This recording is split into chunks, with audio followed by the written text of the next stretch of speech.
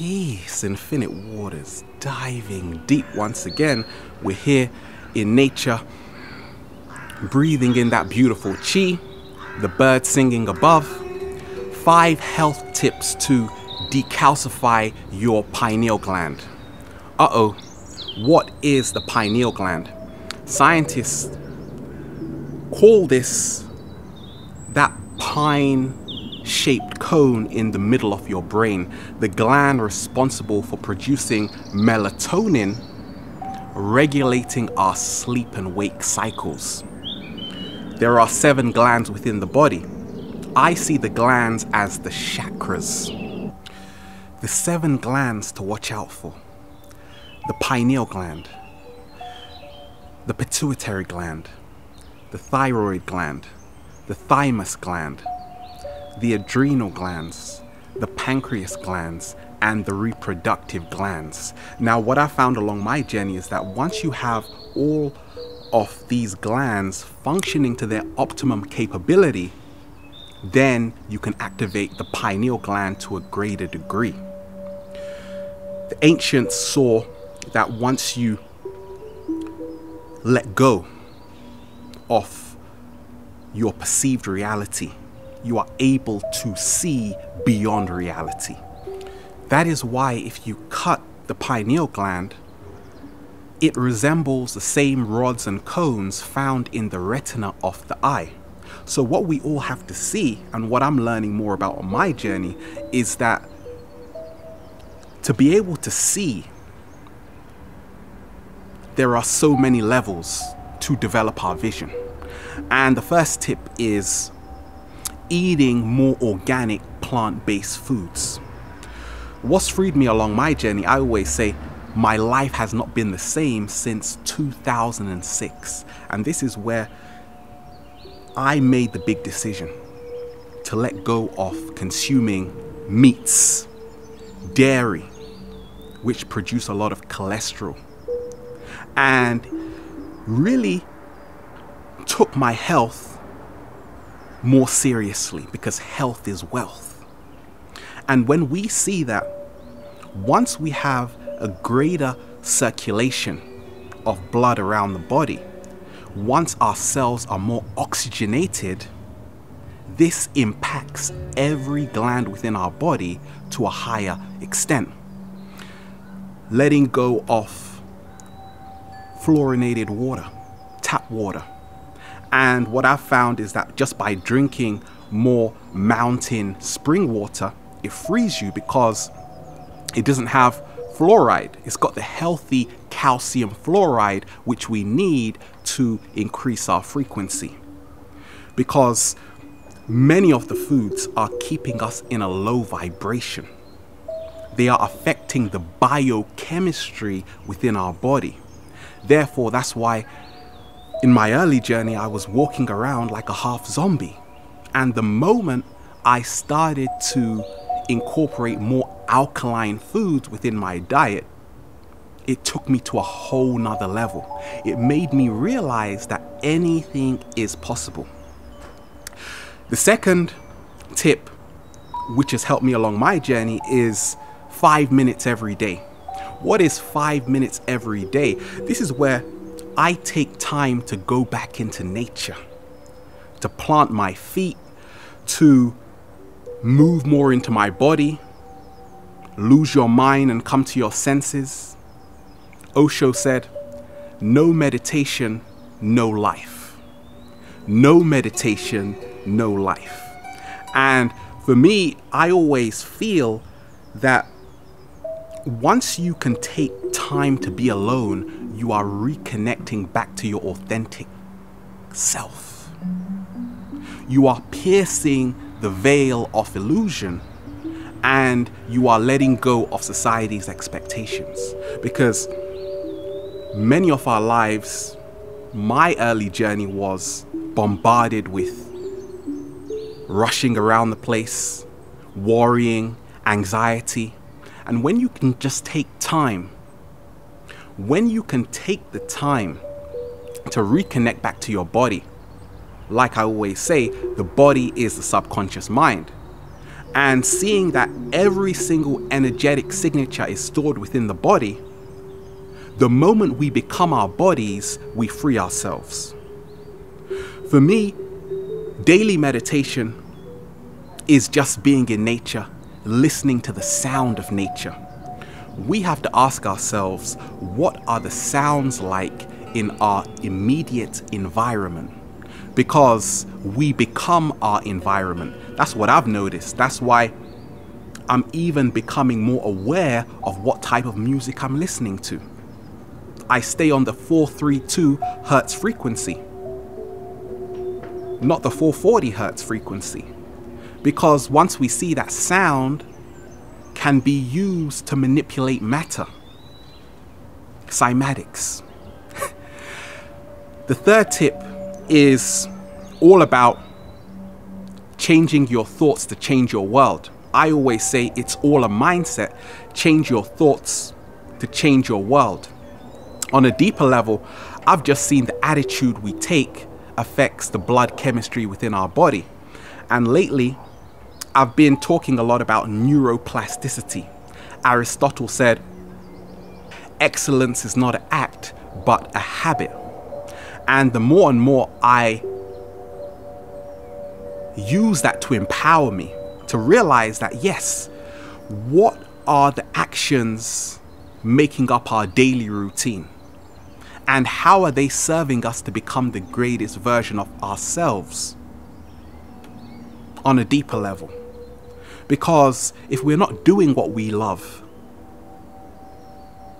then how can we begin to activate our glands to their full capacity? I've noticed that right now there are so many films coming out about the right and left brain hemisphere connection, where we activate the whole brain functioning. Because deep down, I know that we can all be so much more. No, we don't have to become robots. We have this innate gift to become super powerful, which we already are. But it all starts with how we are thinking, removing limiting belief systems. And for me, I've realized a secret that you tap into the realm of infinite creation when you let go of perfection. Because letting go of perfection is where perfection begins. And along my journey is just about accepting myself. Because if we see that the high stress levels are producing cortisol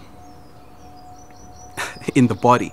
So therefore, the more you can accept yourself and say, I am good enough, you reduce the stress levels within your body so if you have a perfectly functioning adrenal gland, then this impacts your pineal gland because all the glands are interconnected.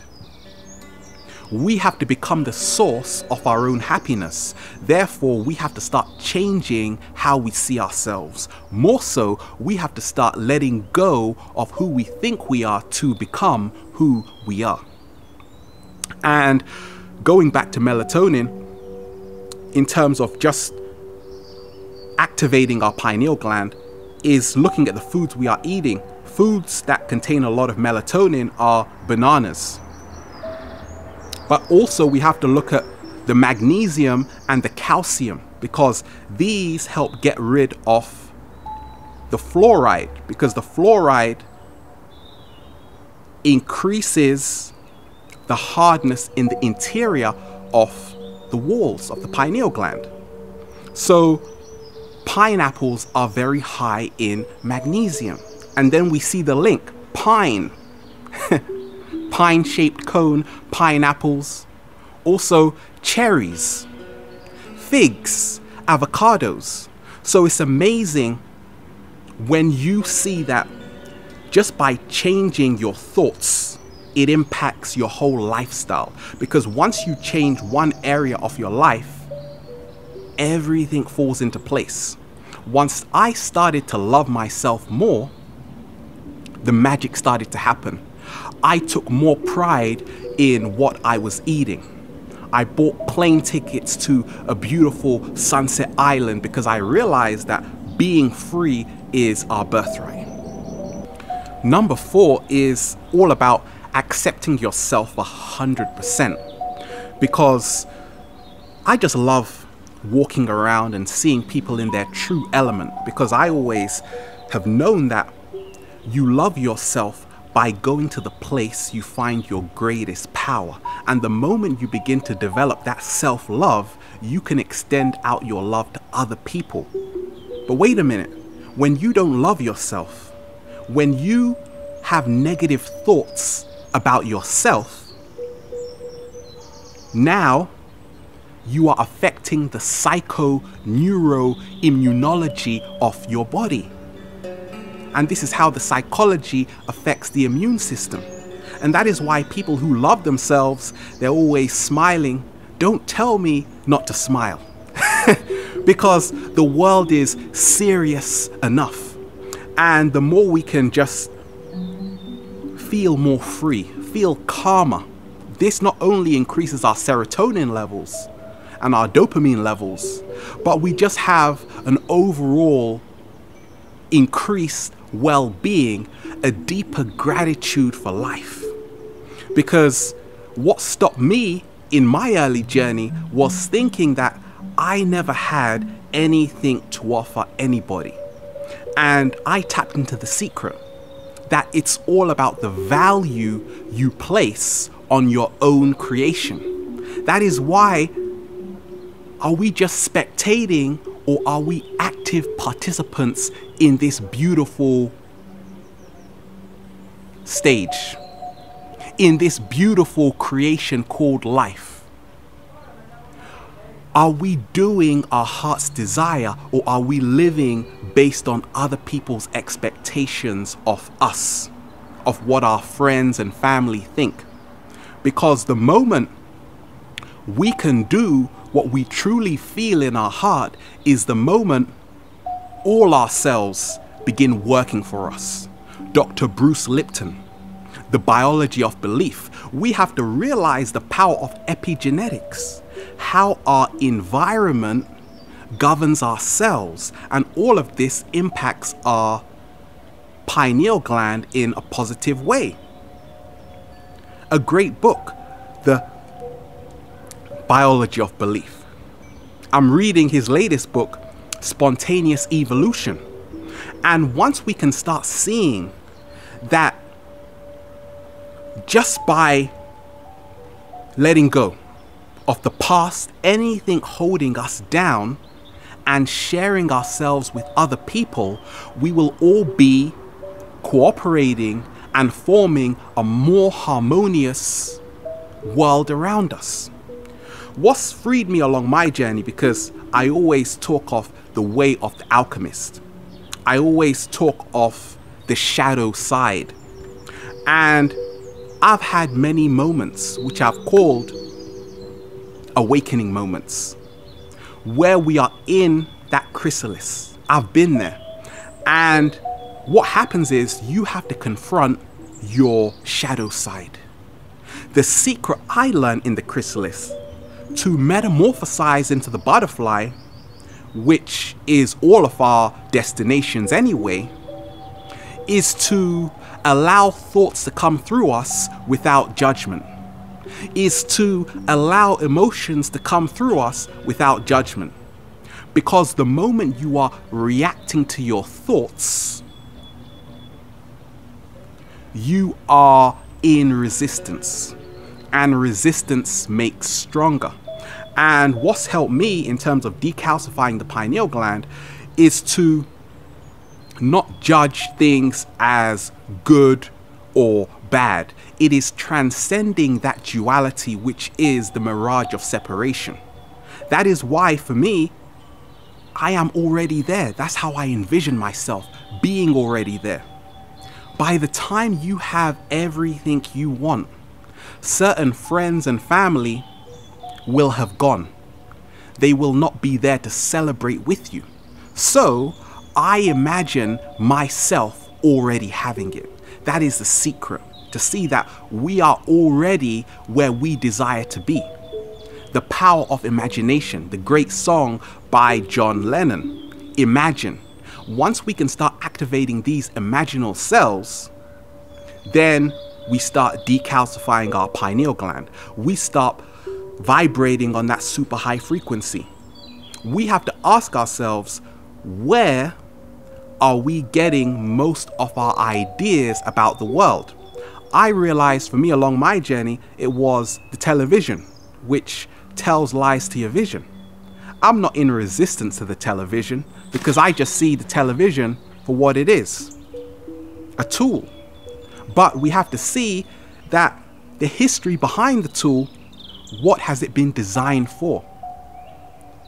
We have to see that once you can start to use critical thinking, once you can start to question everything, and that's why for me along my journey, I'm learning from you. I'm learning each and every day because there is always more to learn. I am an eternal student of nature.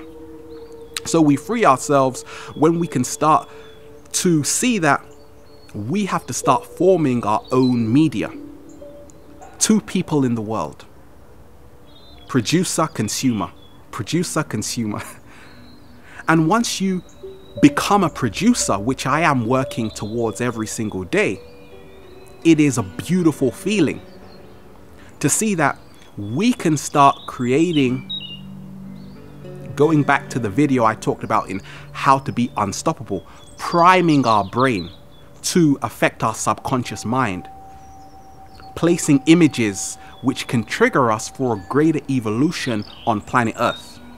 Right now, I see it's the time of the Grand Awakening. This is the time where we free ourselves from all man made illusions because there is only universal law. We are all subject to universal law. There is a divine intelligence permeating everything in existence. And once we can align ourselves to that frequency, we become unstoppable. We become invincible. We become magnificent. Just like being in front of the sun. There are frequencies everywhere around us. Nikola Tesla said if you want to understand the universe, think in terms of energy, frequency, and vibration. And becoming aware of the L frequencies, which many of these radios are producing, televisions are producing, computers are producing, then we run back into nature. We start swimming around the ocean. You know that feeling where you just dive in and you are greeted by this warm salt water. It massages every single cell within your body. For me, all of this decalcifies the pineal gland. We have to ask ourselves what is our mission? What is our divine purpose? Why did we come to planet Earth? And for me, along my journey, I realized that I came here for expansion to continually grow and discover the deep realms of my infinite consciousness, which we are all part of, this one flow. I love how the Native Americans talked of how we are part of the web of life, but we did not weave the web of life. So we have to realize our place in the ecosystem and it's liberating for me just to see how this whole world we are living in is changing before our eyes. Living in the information age, we have to also see that information and knowledge can only take you so far. That's why I always talk of the radical action, and that is number five. Number five is all about act now or cry later. Setting ourselves these personal challenges to overcome the fears we have. And the fear is the false evidence appearing real. For me, even when I am making these videos, to start with, it was fearful. And now, using that neuroplasticity, it has become second nature. So there is no fear. Why? Because there is a hundred percent acceptance of who I am. Once you accept who you are, the world will have no choice but to accept you because your mind is a projection of the world. So within as without. For me, this whole lifestyle of just seeing that our body is the unconscious mind. So, in terms of exercising, we are producing those endorphins, we are increasing our serotonin levels. All of this is helping to decalcify the pineal gland. Yoga. I love to do this because for me it is letting go of the past. Every stretch, every turn is showing me that I can always learn more. You can't master it. There is always more to learn. There is always more along the journey within. The true wisdom keepers know how much they don't know, so they are always in that perpetual expansion. And skating, whatever you do that brings you happiness, is affecting every single molecule within your body. It's affecting the psychology of your body, of how you see the world. And that is how to keep the passion alive because when you start doing what you love, you tap into that passion. What is passion? Passion is energy. Energy is currency. Currency in our society is called money. So we generate our wealth by following our passion. More so, we just have to loosen up, laugh more, have fun more, because this is not only producing the oxytocin within our body, but it is making us feel great every day, making us feel so good we don't need a reason. What's helped me along my journey is to see that once you transcend knowledge, you step into wisdom, which is the knowing. Know thyself. And the wisdom is the radical action. What determines the growth of a tree is not the information in the seed, it is the environment. The seed has a destination, yes, but what ultimately governs how tall, how strong, how beautiful this tree will be is the environment. And that is why epigenetics is at the forefront of science. Because we have to see that once you place yourself in an environment which complements your own energy, we all start to decalcify our pineal glands. Why? Because we are resonating at a frequency which is promoting our wellness. If we're in the wrong environment, and there is no wrong in terms of it's wrong for you, it's not in resonance with your own frequency, now we can't reach our full potential. And the one mantra I always say is that anything is possible. No limits except the ones we create. ING, decalcifying. There is a long way to go, even for me along my journey, but I know I am happy because instead of complaining that I never did something, I am moving in the direction where I want to be. Be glad that you did something. Create, create, create. Get the sun because the sun gives us that melatonin and it helps decalcify the pineal gland. At the end of the day, the only thing that matters is who had the most fun. Keep smiling. Infinite waters. Diving deep once again. Stay well. Stay healthy. Peace.